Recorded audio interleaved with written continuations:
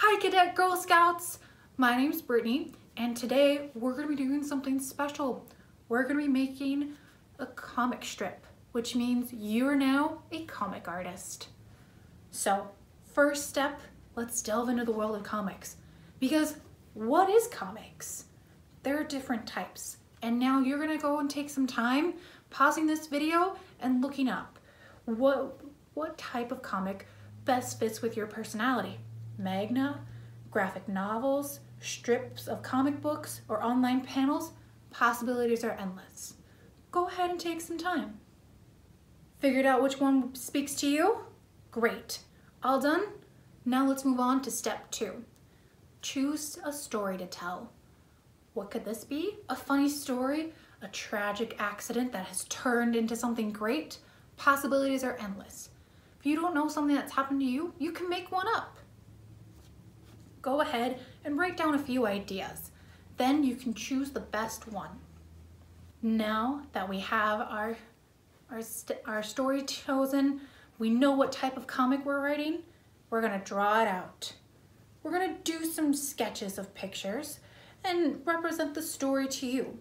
These can be anything from a simple item such as a backpack to maybe a text message back and forth chat. Who knows? Go ahead, use a pencil and sketch it out. Don't be afraid to erase things. It's fine. This is just the first draft. All right, here we are, step four. We're gonna make this into four different panels. I'm gonna put my title up here and I'm gonna put my four different pictures of my story down here. Yours doesn't have to look like this. It's just an example. Go ahead and pick what works best for you.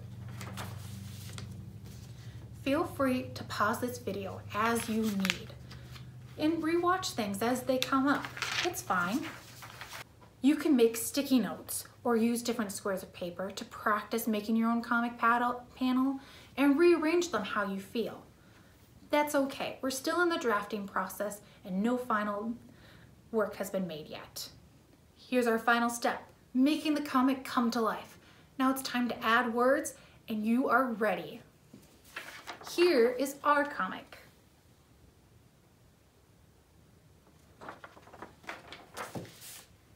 All right, comic artists, now you know how to make a comic strip. Find out the best type of comic that works for you. Go ahead and start figuring out a story to tell. Add in, add some sketches, frame it up, and then add some words and you are a comic artist.